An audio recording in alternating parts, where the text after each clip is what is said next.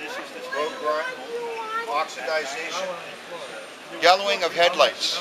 Okay, one can, one can of these six full-size vehicles is twenty bucks. Works out to three dollars for a full wax. Twenty bucks? Or you can get two cans for thirty. And when you buy two cans of wax here today at the show, we also